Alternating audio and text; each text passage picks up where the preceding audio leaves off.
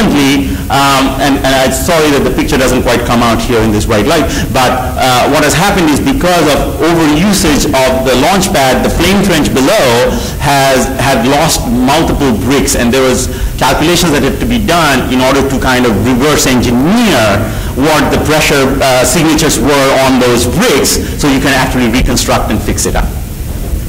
The image at the bottom um, here um, shows the mobile launch platform, and this is what we use. This is 39ANB uh, to launch the shuttle. And the problem was that when NASA was building this uh, rocket, how are we going to use the launch platform? Because the launch platform is designed for the shuttle with three holes, the two SRBs and the shuttle main engine. And now you're going to go through a stick design like a, you know, SpaceX, Falcon, um, Ares, whatever. And what are you going to do with this other hole that is there? And um, uh, the, one of the uh, ideas was to actually seal that hole off, so that it would be about maybe $10 million to fix up that hole. Or you can leave the hole open and see what is the impact of the ignition overpressure on the vehicle itself before the first couple of seconds of uh, mission elapsed time. And calculations showed that if you took out one of those deflectors, which you can probably not see, but if you took out one of the deflectors, then that would be enough because the main signature, signature of the ignition overpressure comes from the hole that you cannot close. That is the one hole where the rocket is actually sitting. But if you have the water suppression system, that will bring the PSI levels to acceptable levels so that it will be okay. So this is again another calculation that was done um, uh, in support of NASA missions. Um, I have to show something from aeronautics. You know, uh, um, rotary wing problems are extremely difficult. This was one of the largest calculations that was ever done. This is a Reynolds average Navier-Stokes calculation that was done on 3 billion grid points on about 17,000 processors of Pleiades. And one of the biggest problems with rotorcraft, as you can all imagine, is that because of the vortex wake that comes off from the, one of the blades hits the, the trailing blade, this does not happen in you know, real aeroplanes. But that is a major problem with helicopters, and this is of interest also to the Army. NASA has a cooperative agreement with the U.S. Army in rotorcraft, so this is another calculation that was done both in hover and forward flight. And then finally, um, if I can get there, this is the slide that always has a problem because I cannot move to the next slide.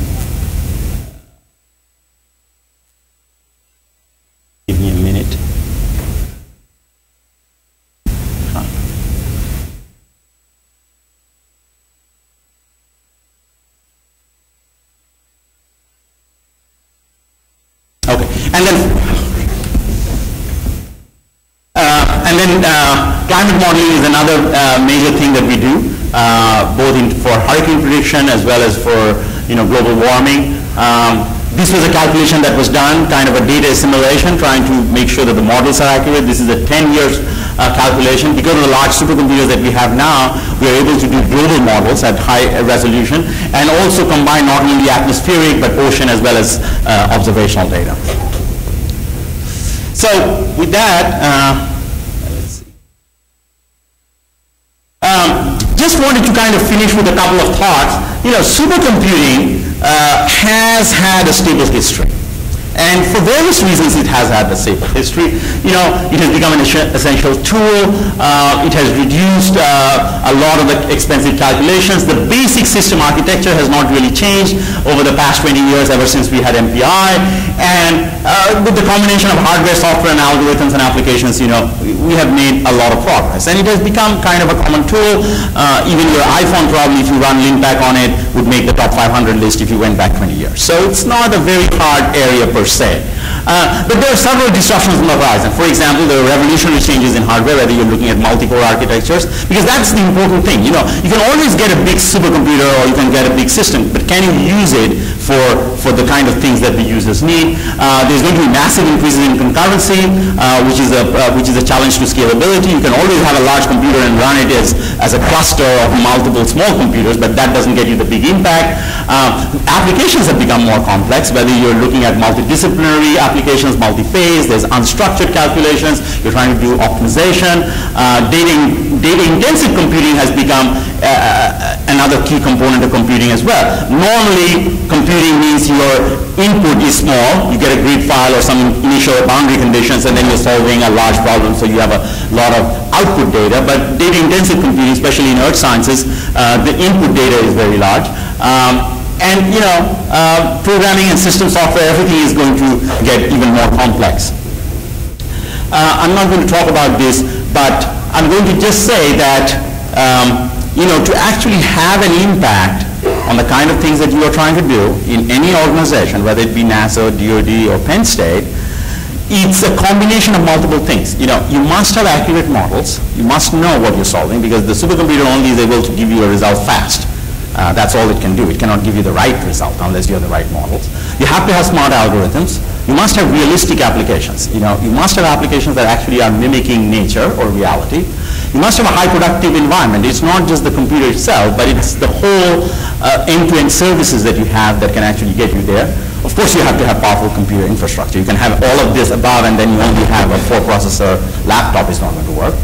And then finally, I think the most important thing, and which I think is very important for an educational institution, is that you must have experts who can actually understand and produce credible results. I can generate, and this is one of the problems we have at NASA, for example. With an aging workforce, I can generate all the results, but if the expert is not in the room, because the problem is that the result that I've generated has never been generated before. So no one really knows what this means unless you have some training or background or expertise in this area. You're not going to be able to figure it out. It's not written in any textbook. So, so I think that's the problem. And with everything that's changing in high-end computing, you know, this all becomes even more complex. I'll end there. Thanks a lot.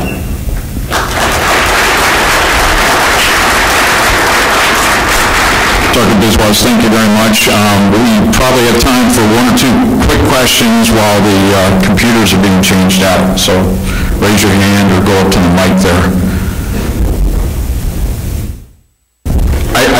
Question about the real-time display of, of your computational results. Are you able to do, uh, what do they call it, computational steering, where you actually can feed back in, or is that still on the horizon?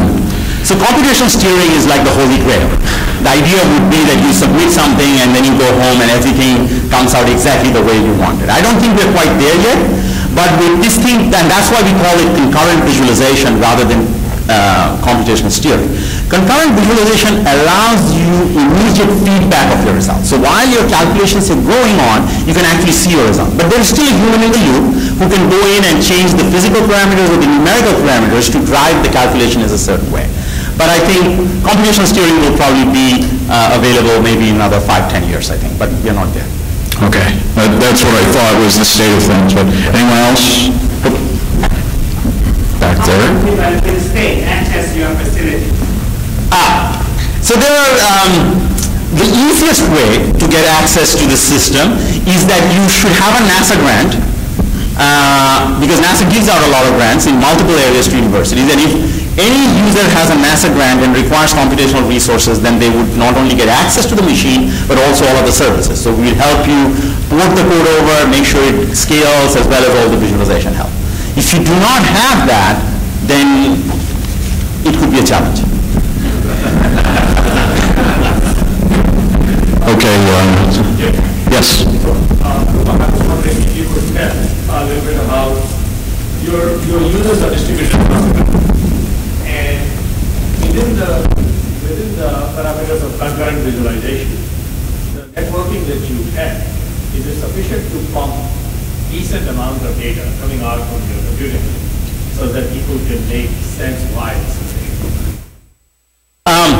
so, so that's a good question, and one of the things that we had struggled with for the past few years is we had always thought that networking needed to keep pace with computing and maybe even grow faster, and it is generally true.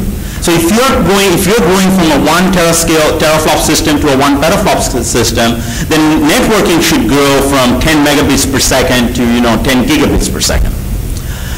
But that has not quite happened the way we envisioned. And the reason is that one of the things we always forget that if you have a network, there has to be a huge sink at the other end as well.